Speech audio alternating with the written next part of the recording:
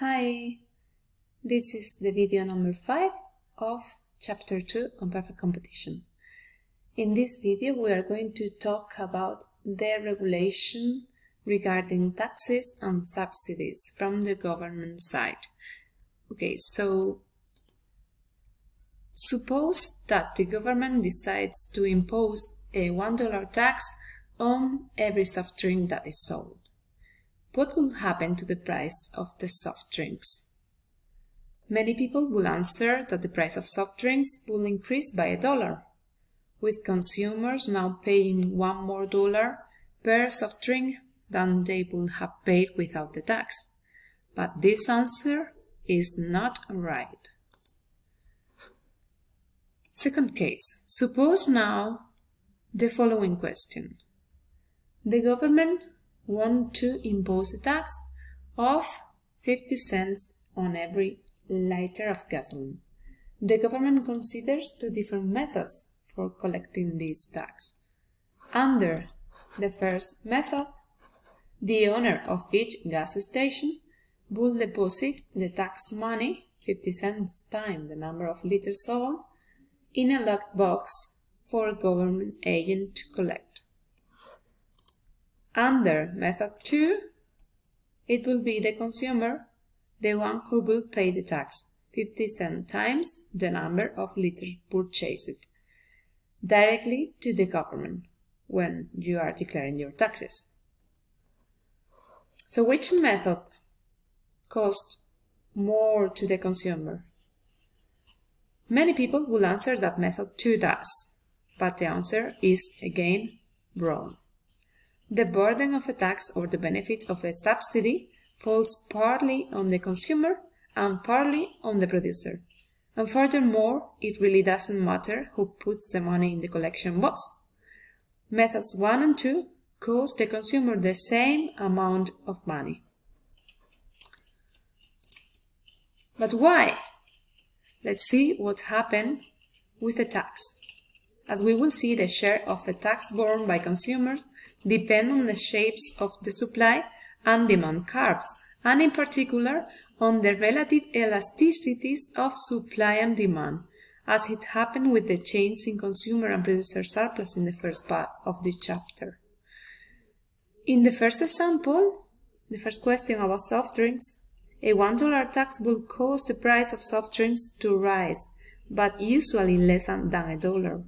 To understand why, let's have a look at the change in the initial equilibrium. And for simplicity, we will consider a specific tax that is fixed per unit sold, fixed amount of money per unit sold, so instead of an ad valorem tax. Although the results will be roughly the same. Okay, so suppose that the government imposes a tax of T. This will be the tax, T. T cents per unit on soft drinks. Assuming everyone effectively pays the tax, the government then must receive T, the tax, cents for every soft drink sold. This means that the price the consumer pays must exceed the net price the seller receives by T cents. Okay, so the difference between the price the, buy, the buyer is going to pay and the price the seller is going to receive is exactly T. Okay, this is illustrated in this slide. P0 and Q0 represent the market clearing price and the quantity clearing price before the tax is imposed. So, after the tax is imposed, the government receives T multiplied by the quantity exchange. Okay, so the government will be happy. How we determine what the market quantity will be after the tax is imposed? How can I know that Q1 will be the quantity exchange in this market? And how much of the tax will be supported by consumers and how much will be supported by producers? The first thing is that I have to remember what consumers care about the about is the price that they must pay. So they care about this PB. And similarly, the producers worry about the price they receive. In this case, the quantity exchanged in the market is Q1 as the price decreases for producers who would like to offer a lower quantity, a lower quantity, the point where the PS crosses with the supply is at Q1. And the point where the PB, the price the buyer, buyers pay, crosses with the demand is also Q1. Okay, so Q1 will be the quantity exchange in the market. Then the burden of the tax is shared evenly by consumers and producers. Each of them pays half the tax in this case. This is exactly half and half in this case, just because the elasticity of the demand and the supply is similar. Then, if we know the demand curve, the supply curve, and the size of the tax, we can solve easily these equations. For the buyer's price, PB, the seller price, PS, and the total quantity demanded and supply. Okay, so regarding the variations for consumers and producers surplus, we can easily see that consumer surplus before, when we had the perfect competition, it was this triangle. The area limited by P0 and the demand. Okay, so all this triangle was the consumer surplus before the tax. But now, at the price they pay is PB, the new area, the new consumer surplus will be only this area, limited by PB and the demand okay, at a quantity of Q1. So the consumers have lost A and B. What happened for the producers? The producer, before when there were perfect competition, the market clearing price was PB, P0. So this triangle, the area under this market clearing price and above the supply, this triangle was the producer surplus when we had perfect competition. But now that the price is PS, this smaller triangle below PS and above the supply will be the new producer surplus. Okay, so the producer have lost D and C. Okay, this is the change that you have here. Buyers lose A and B, sellers lose D and C. And the government is going to earn the areas A and D as a revenue, as a tax revenue. Why? Because the areas A and D equals to this rectangle, and this rectangle is T, the tax, multiplied by the quantity exchange. Okay, so the government is going to earn Q1 multiplied by the tax. The quantity exchange multiplied by the tax and this is this area, A and D. So what is the dead weight loss? The dead weight loss will be B and C. B and C because no one, nor the consumer, nor the producer, neither the government is going to get these areas. So this is going to be a deadweight loss, a loss in welfare for the society as a whole. Okay?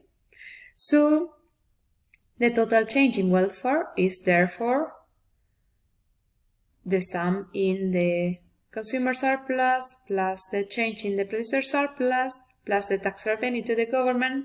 So it will be minus A minus B minus D minus C plus A plus D. So at the end, the change in the welfare will be minus B minus C. This is the deadweight loss. Okay. And um, as we were saying, in this case, the impact of the tax was equal in the consumers and the producer. It was equally divided between them, but it will depend. Imagine the case where the elasticity of the demand is like this, so the demand is relatively inelastic and the supply is relatively elastic. Okay, so the burden of the tax will fall mostly on consumers. Okay, this will be the tax, the difference between PB and PS, and you see that most of it will be paid by the consumer. Why? Because the demand for them is very inelastic. Okay, so when there is a change, when there is a change, they will still be buying this product. Yep. What happened for the uh, for the opposite case when the supply is relatively inelastic compared to the demand? That most of the tax will be paid, will be supported by the producer. You see that this area is greater than this one. Okay, that's the opposite. That's in this case. So it takes, in this first case, when the demand is relatively inelastic compared to the supply, it takes a relatively large increase in price to get consumers to reduce demand by even a small amount. Okay, you see that this decrease is very small, although the price had a very huge increase. We went from P0 to PB. Examples of goods that uh, has this this relatively inelastic demand can be gasoline, drugs like those for diabetes, and so on and so forth. Okay? Um, let's have a look to the effects of a subsidy. A subsidy will be just the opposite to a tax, so it will be a payment reducing the buyer's price below the seller's price, so the effect is the same than having a negative tax. So in this case, uh, the government has an interest in increasing the quantity exchanged in the market. So it, the government wants to increase the quantity exchanged from Q0 to Q1. And what can I do if I am the government, if I am the prime minister? What I have to do is to make the price that the seller receive be greater than the market clearing price in per competition and the buyers that the that the, the, the price that the buyers are going to pay should be lower than the market clearing price. Why? Because at this price, PB, the demand will be Q1, and at this price, PS, the supply will be also Q1. Okay, so this difference must be paid by the government. And what happened? What happened? This that now the producer surplus will be this huge triangle. The triangle would go from PS, below PS, and above this supply at a quantity of Q1. Okay, so this whole triangle. And the producer is going to earn the area D. What happened for the consumers? They are going to pay the price PB so compared to the market clearing price P0, they will be earning all this area. Okay, so the new triangle, the new consumer surplus will be all this area above PB and below the demand. Okay, until here. All this. Okay, what happened to the government? The government will, will have to subsidy this difference. What does it mean? It means that he will pay, the government will pay, or it will pay this difference, the difference between PS and PB, which is the subsidy, multiplied by the quantity that is exchanged in this market. Okay, so this whole area, A, B, C, and D, which is the subsidy multiplied by the quantity exchange. Okay, so the cost to the government will be minus A minus B minus C minus D, exactly the subsidy. And what is the change in welfare then? Well, the change in welfare is the change in the consumer surplus, the change in the producer surplus, and the change in the cost or revenue to the government. In this case, plus A plus D, minus A minus D, minus B, sorry, minus C minus D, which will be at the end minus B minus C. These two areas are added weight loss in this case. And that's all. See you in the next chapter.